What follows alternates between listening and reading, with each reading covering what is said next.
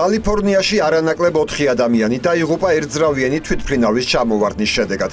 თვითფრინავი საცხოვრებელ სახლებს დაეცა. ტრაგიკული ინციდენტი ქალაქ რივერსაიდში მოხდა. თვითფრინავი ადგილობრივი აეროპორტიდან ქალაქ სან-ხოსეში მიფრინავდა.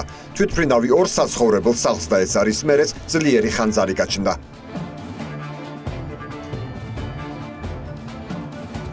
რივერსაიდის სახანძრო დეპარტამენტის ხელმძღვანელის მაიკლ მურის განცხადებით, ცესნა 310 ტიპის თვითფრინავის ბორცზე ერთი ოჯახის წევრები იმყოფებოდნენ, ცოლ-ქმარი და სამი შვილი.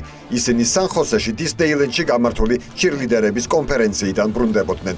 მაიკლ მურის თქმით, სახლთან შეჯახებისას ბორცზე მყოფი ერთ-ერთი მოზარდი გოგონა თვითფრინავიდან გადავარდა და მსუბუქი დაზიანებებით გადარჩა.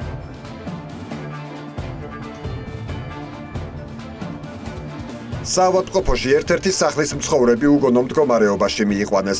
მაშველებმა კატასტროფის ადგილას 4 ცხედარი იპოვეს, თუმცა ჯერჯერობით ვერ აზუსტებენ ცხედრები ბორცზე მყოფი ადამიანებისა თუ დანგრეულ სახლებში მცხოვრებლებისაც. ვარაუდობენ, რომ სხვერპლის შესაძლოა გაიზარდოს.